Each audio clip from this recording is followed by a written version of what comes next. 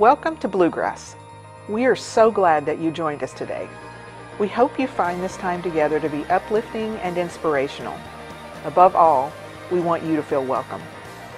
So if you have any questions, prayer requests, or just want to know more about how to get connected to Blue Grass, visit bluegrassumc.org slash connect. This week, Doug continues the mission. Despite the changes that have taken place in our world, the mission remains the same. The world needs Jesus, and it's up to us to offer Jesus to the world. Again, thanks for being with us today. Let's begin.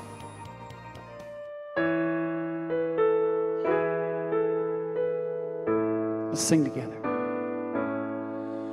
On a hill far away stood an old rugged cross, the emblem of suffering and shame. And I love that old cross where the dearest and best for a world of lost sinners was slain. So I'll cherish the old rugged cross till my trophies at last I lay down. I will cling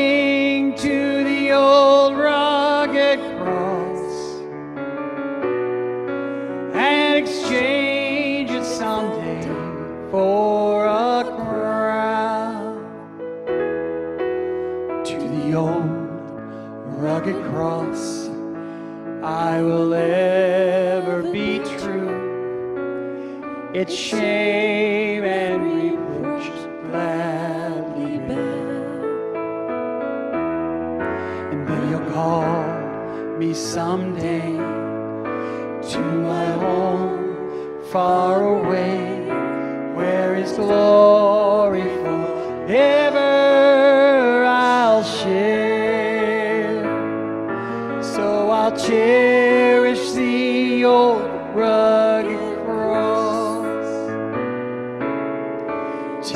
my trophies at last I lay down.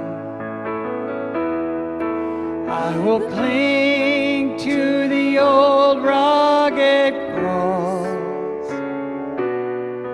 and exchange it someday for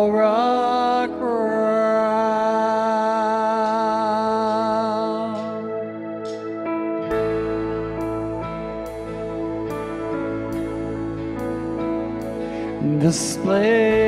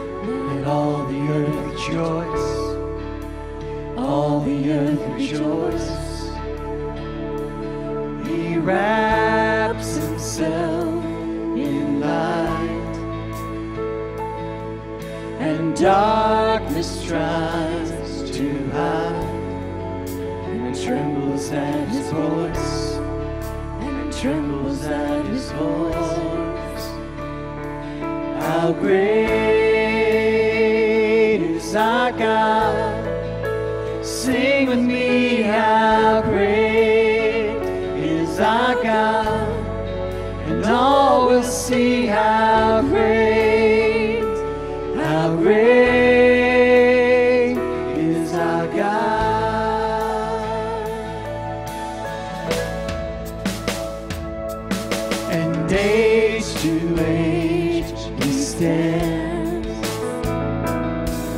and time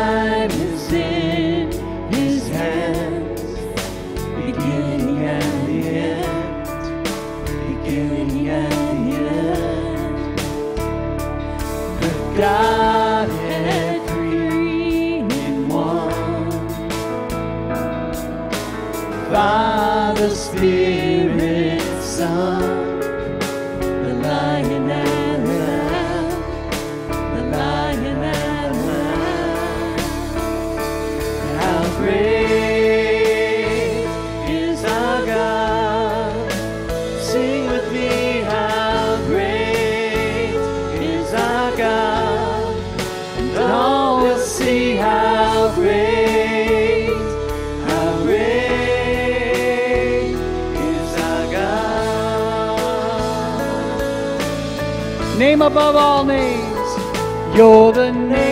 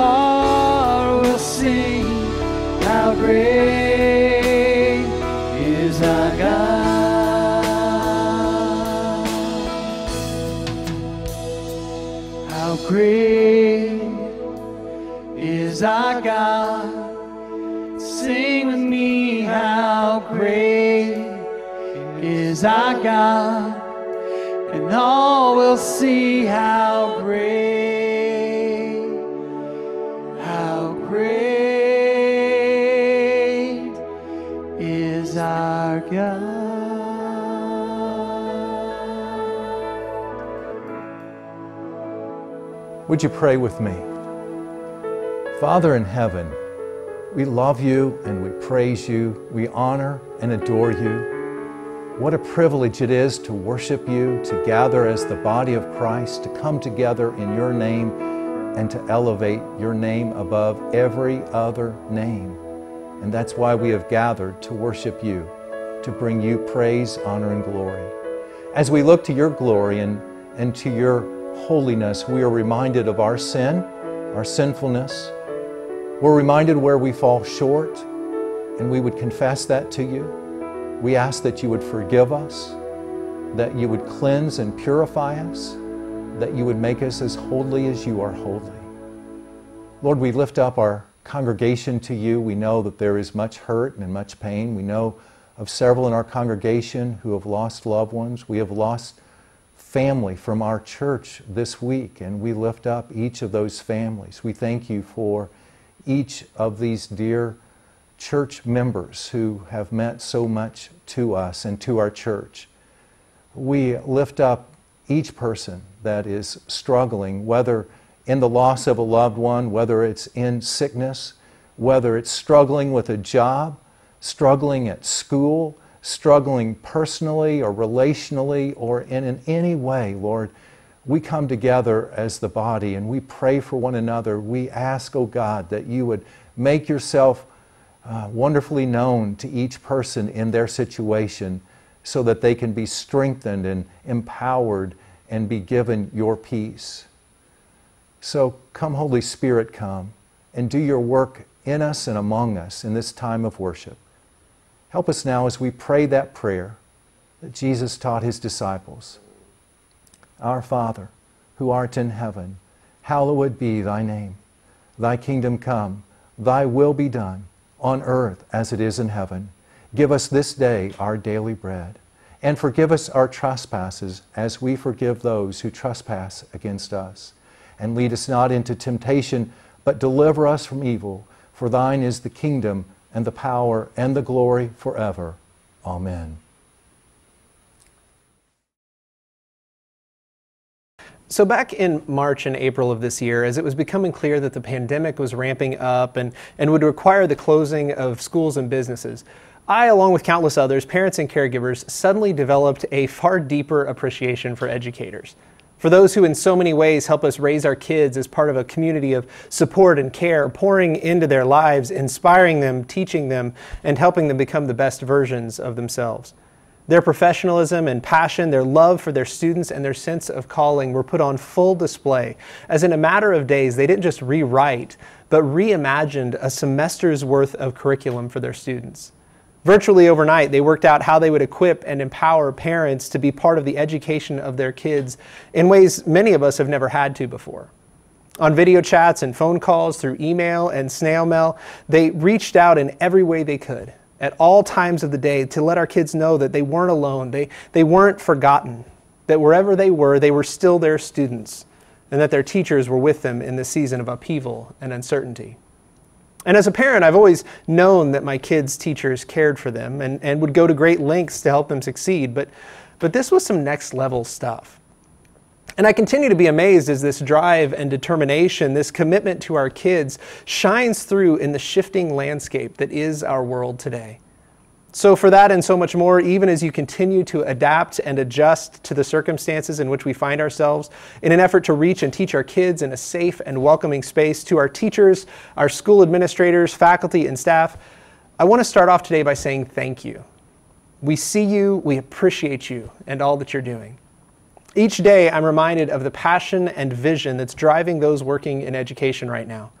And one of the ways I see that personally is in a longtime friend of mine, Ryan. He's currently serving as the assistant principal at a high school in Kentucky. Throughout his tenure in education as a teacher and as an administrator, Ryan has made no secret that his passion, the thing that gets him out of bed every morning, is the call in his life to invest in the lives of kids. In particular, Ryan has a heart for those kids on the margins, the kids that others might be tempted to write off because of the difficulties they face or behaviors they have that create barriers. Those kids for whom it could be so easy to simply slip through the cracks. Ryan seeks those kids out with the intentionality and intensity of someone on a rescue mission. And what's more, he invites everyone else to come alongside him.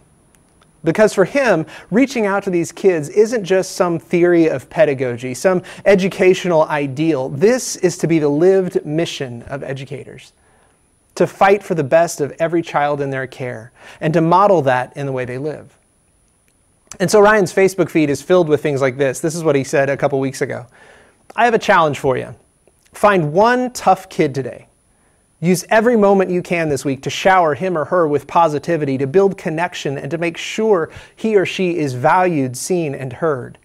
I promise, come Friday, you'll have a brand new kid. Three exclamation points, hashtag connections before content. And there are more posts than I can count on his page that, that carry a similar message one of investing in relationships with kids for whom such connections might make all the difference. But the post on his page that caught my eye as I was thinking about today's message was, was one he made just a little over a week ago. I, it was a picture of his fitness watch with his step count in focus. Now, now, pictures like this, they aren't all that unusual from Ryan. If there's one thing he's nearly as passionate about as he is about reaching and teaching kids, it's physical fitness. But it was the text of the post that caught my eye. It said this this little piece right here, it looks like a watch, but it's actually a measuring stick. By tracking my steps, it tells me if I've met my visibility factor for the day. 10,000 steps equals in the halls more than in my office. When kids see you more, they know you see them too. Hashtag valued, seen, heard. You see, Ryan's love for his students isn't just some abstraction but something that quite literally moves him as he gets up, goes out, and, and meets his kids where they are. And I love this post because it connects so well with what we're talking about today as we continue our sermon series discussing the mission of the church in the world. Much like Ryan's post, this week we're talking about where the mission of the church meets movement where words meet action as we proclaim the gospel with all that we are, that the world may know and the lost may be saved in the life, death, and resurrection of Jesus Christ. And we'll start today by looking at this passage from Matthew 5, verses 13 through 16. It's an excerpt from Jesus' Sermon on the Mount, and it goes like this You are the salt of the earth. But if the salt loses its saltiness, how can it be made salty again? It's no longer good for anything except to be thrown out and trampled underfoot. You are the light of the world. A town built on a hill cannot be hidden. Neither do people light a lamp and put it under a bowl. Instead, they put it on its stand, and it gives light to everyone in the house. In the same way, let your light shine before others, that they may see your good deeds and glorify your Father in heaven. In his message last week, Doug reminded us of the mission we were given by Christ in Matthew chapter 28, verses 18 through 20. It's a timeless mission for the whole church and everyone who would call themselves Christian to go and make disciples of all nations, baptizing them in the name of the Father and of the Son and of the Holy Spirit, and teaching them to obey everything He's commanded. And this week, in this passage, we start to see what that looks like, how we live that out. Here, Jesus is saying to all who would hear that the call on the church as we join in the mission of God is to go into the world and be who we are in Him, who we were created to be. And so you may ask, well, well, what does that mean exactly? Who does He say we are? Well, Jesus tells us, He says, You want to know who you are? You are the salt of the earth, you're the light of the world, and you need to behave as such. One commentator says that we might more readily understand the imagery Jesus is using here if, if we replace salt with red hot peppers or, or something else with a really strong flavor, something that's impossible to miss when it's there. In short, Jesus is saying here that we are in the world to be noticed. What good is salt, he says, if it doesn't taste salty anymore? What's the point? Or what good's a lamp if you light it and then hide it under a bowl? You are the salt and the light and the red hot peppers of the world, Jesus tells the church. And in your fulfillment of the mission of the kingdom of God to make disciples, you are meant to be seen. You are meant to be noticed. So get out there and start showing off who you are. Now, admittedly, this kind of message from Scripture, it can feel a little bit counterintuitive, can it? After all, the Bible has a lot to say about the dangers of things like pride and, and selfishness. Jesus wants us to go out into the world and show off? I mean, are, are we supposed to act like overexcited little kids shouting, Look at me, look what I can do, and seeking attention everywhere we go? That doesn't quite sound right, does it? After all, it's just a few verses later in the same sermon that, that Jesus goes on to say in Matthew 6 1, Be careful not to practice your righteousness in front of others to be seen by them. If you do, you'll have no reward from your Father in heaven. So, which is it? Are we supposed to go out and get noticed or not? Is getting attention for who we are and the stuff we're doing right or wrong? And that's a fair question. After all, we, we don't really want to get this wrong, do we? But what's, the, what's important to note here is that while both of these passages speak of the nature of good works and the value of being seen doing them, they differ in one very important way, and that's motivation. Throughout Scripture, in the Psalms and the prophets, we read time and again that doing the right thing for the wrong reasons is very often the wrong thing. God's all about the heart, all about what motivates our actions. And so in Matthew 5 13 through 16, when Jesus tells us to let our light shine before others, to go out and get noticed, it's for the purpose of others seeing our good deeds, seeing a changed people doing the work of the kingdom of God, and then giving glory to God as a result of the change he has brought about and the work he is doing through his church. On the other hand, in Matthew 6 1, what Jesus speaks against is this idea of doing good things in front of others with the end goal of being seen, not in service to a larger mission, but in service to our own agendas and egos. Though it may be the right thing, it's robbed of its righteousness in that it's done for the wrong reasons. So Jesus here is calling us to live out our faith, to put action to our beliefs, and to do good works in the world, not that we might get attention, but then doing the work of the church, empowered by the Holy Spirit, inspired by our Lord and Savior Jesus Christ, the eyes of the world would look through us to see the God whose mission drives us and in whose name we serve, that they might be saved and join in the work as well.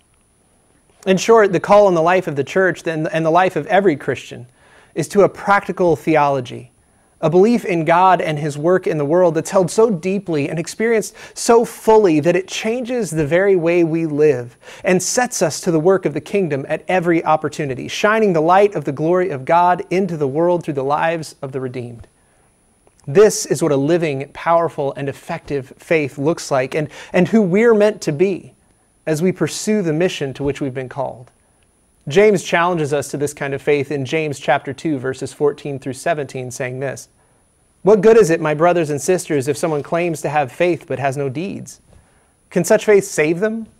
Suppose a brother or sister is without clothes and daily food. If, if one of you says to them, Go in peace, keep warm and well fed, but does nothing about their physical needs, what good is it? In the same way, faith by itself, if it's not accompanied by action, is dead. Paul says something similar, though perhaps less aggressively, in Ephesians 2 6 through 10, where we read this And God raised us up with Christ and seated us with him in the heavenly realms in Christ Jesus, in order that in the coming ages we might show the incomparable riches of his grace, expressed in his kindness to us in Christ Jesus. For it's by grace you have been saved through faith, and this is not from yourselves, it's the gift of God, not by works, so that no one can boast. For we are God's handiwork, created in Christ Jesus to do good works, which God prepared in advance for us to do.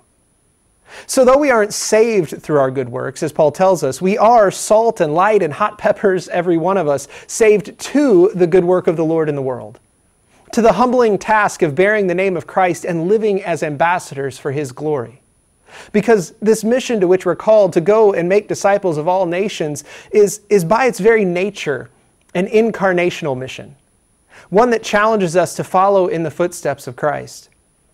Remember, when, when God saw the world lost, dying, and in need, He didn't stand far off, removed from His creation, and then called us to make our own way back to Him. No, out of His overwhelming love for His lost and wayward children, His bruised and broken creation, God sent His only Son to walk and talk and teach and serve and live among the people such that whoever believed in Him would be redeemed to life and life eternal. So, too, we who would bear the name of Christ into the world are charged to go into the world and bear that name well.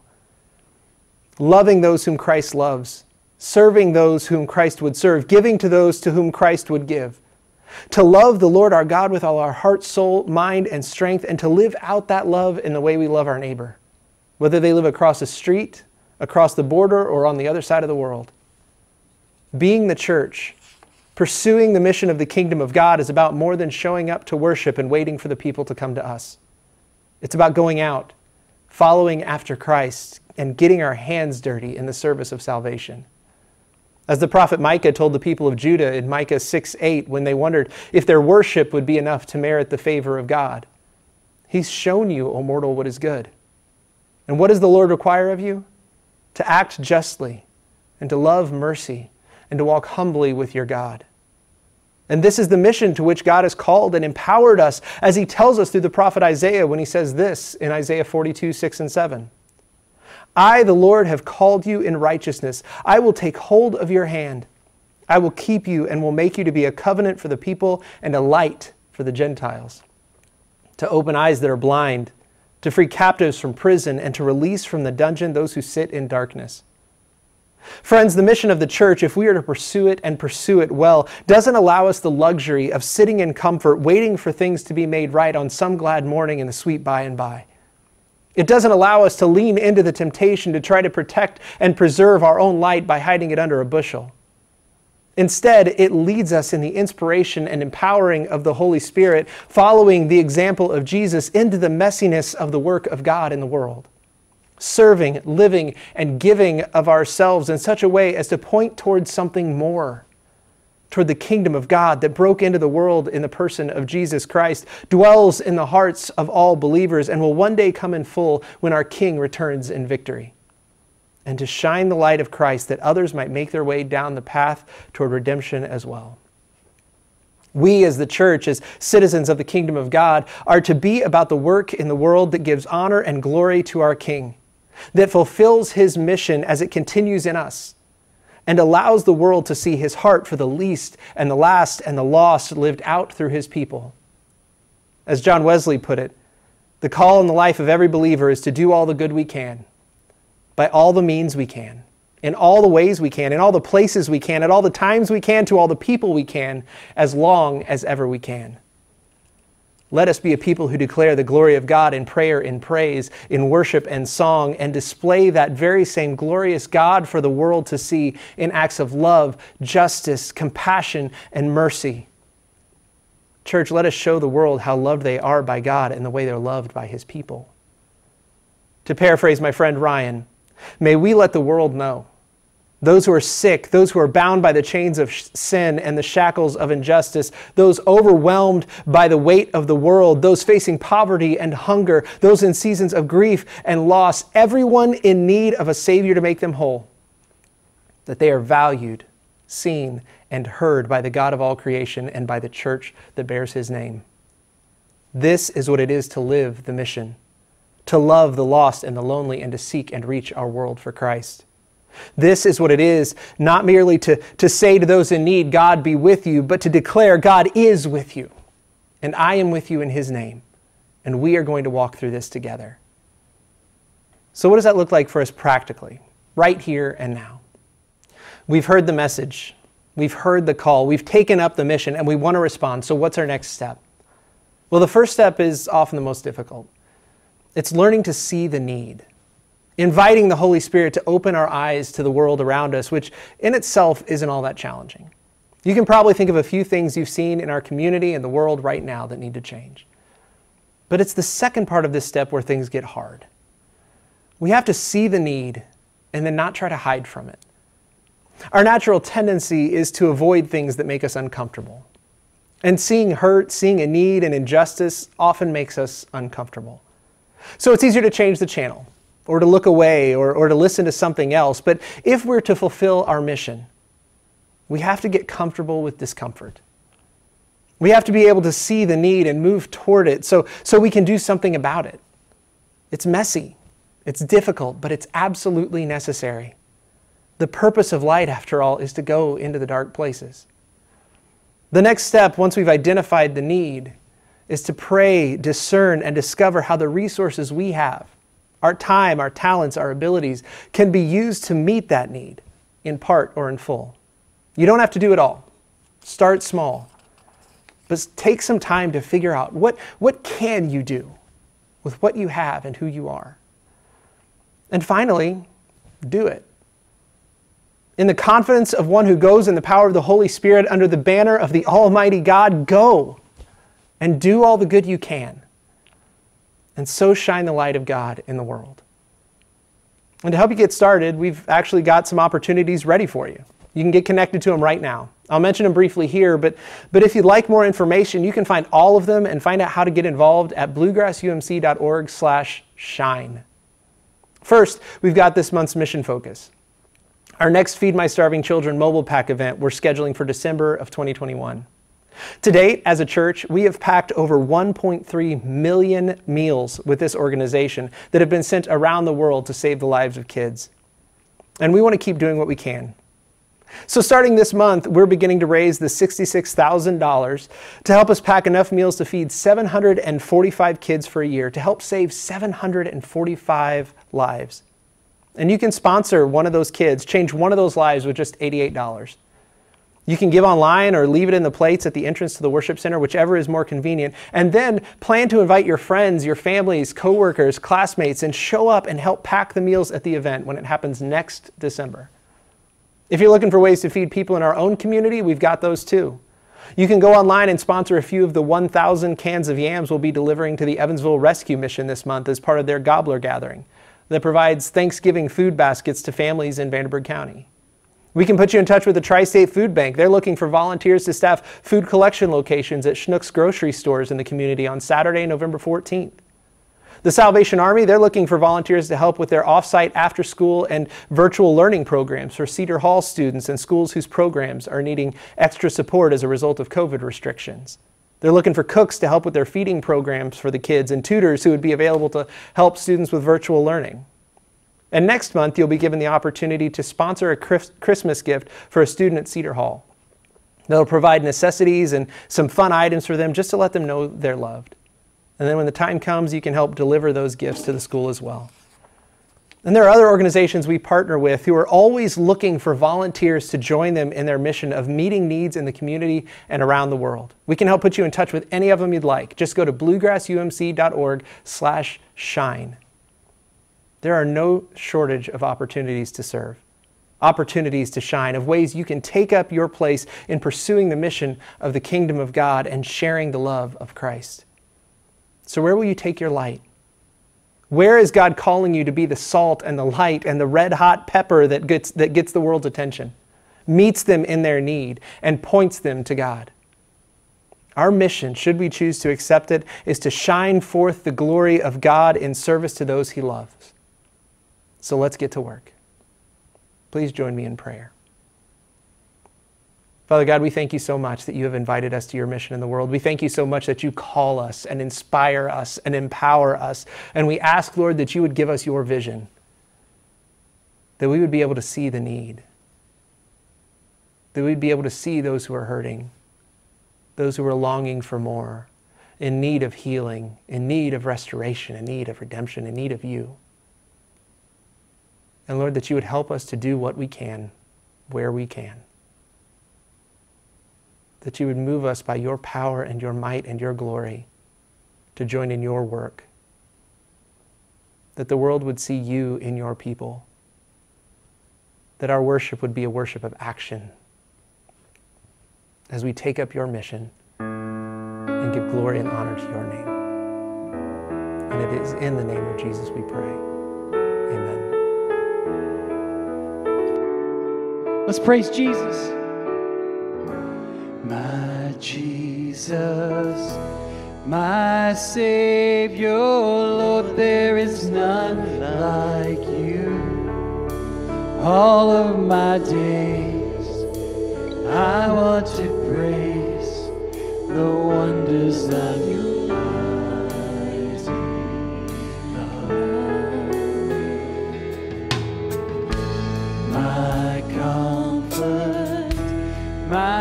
shelter, tower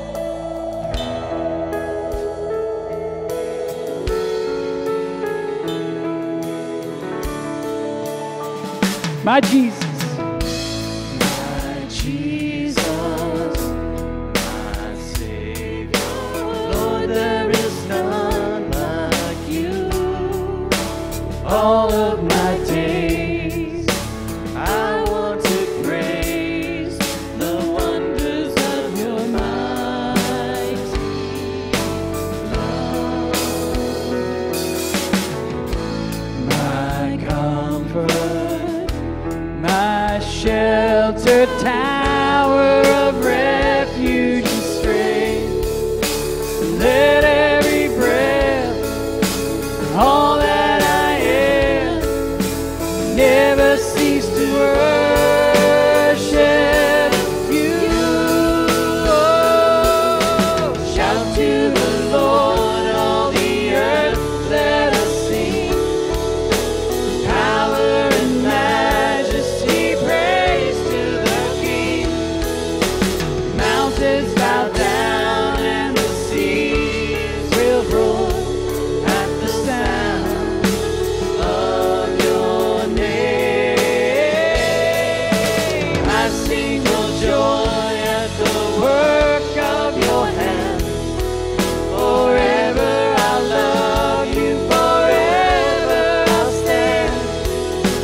Nothing compares to the promise I have. Oh, nothing compares to the promise I have. Oh, nothing compares to the promise I have in